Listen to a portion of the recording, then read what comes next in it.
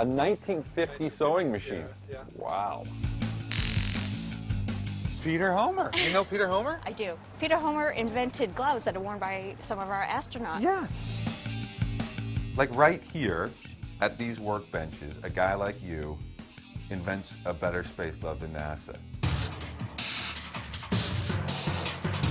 So, Matthew, the whole purpose of the smart sight allows a soldier to fire from a safer position. This is not smoke and mirrors, this is real delivery. Uh, we've reached some really big milestones. It's a big milestone that we're here. Um, we had five brave souls come in and use the device extensively to prove its safety and efficacy. It's a walking robot. Jared hasn't walked in five years. What do you think of that? You know, it's a standard stun technology. He comes in with this glove idea. What was your first thought? Well, I was thinking he's a little crazy. He brought this thing to the house. I understood where he was going. Right. Yeah, okay. That little crisscrosser ribbon is the secret sauce that makes my gloves more flexible than the current gloves. Buzz Aldrin, how's that feel? It feels uh, a lot more mobile.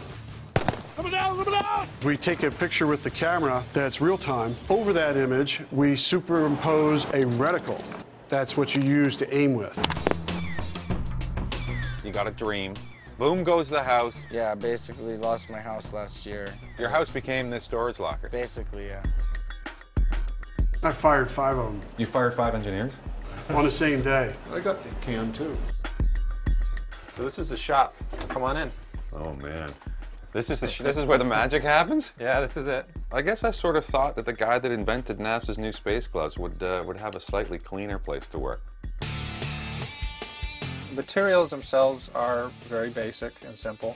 This is something that I, I think ordered off of eBay or, or something like that. eBay. And then when you get through this next fruit down, you're going to spin to the side. No. How cool is that? There's a touch of Michael Jackson about that move.